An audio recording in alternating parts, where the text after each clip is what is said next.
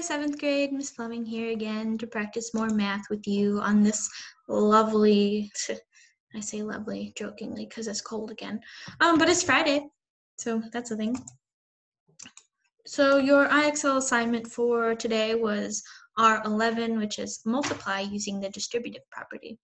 So without further ado, when you distribute, you're just sharing out your number you're distributing it, like giving it out. Like I would distribute cookies, you distribute the three to the four and the other three. What that means in this case is we're multiplying. So we'll multiply three times 4D and then three times three.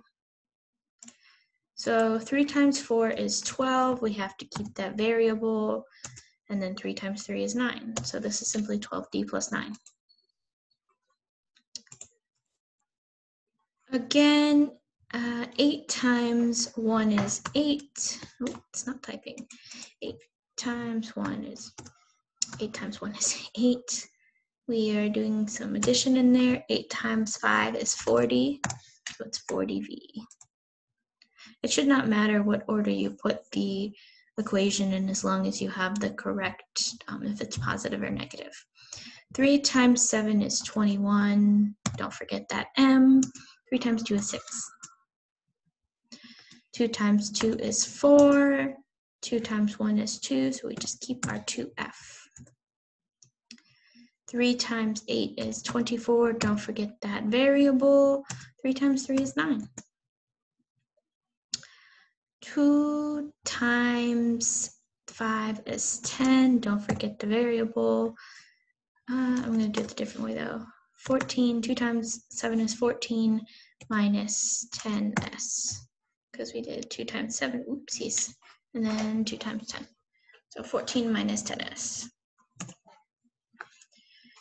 We have negative 3 times negative 4, which gives us a positive 12. Don't forget that b.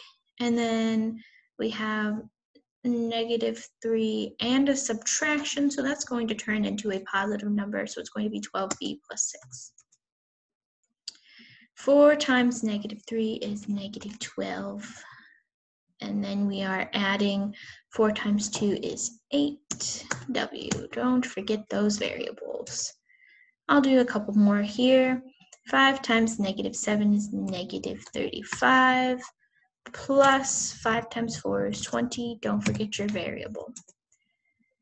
And 5 times negative 6 is negative 30, plus 5 times 2 is 10. Don't forget your variable. One more. Negative 3 times negative 2 is positive 6. Don't forget that variable. Um, but we do have a negative times a positive, which is going to be negative. So we can just say it's subtraction. 8 times 3 is 24. All right, hope this helps you guys. It's pretty simple. You're just distributing the 4 to the number, or the outside number to the number inside in the parentheses. If you have any questions, let me know.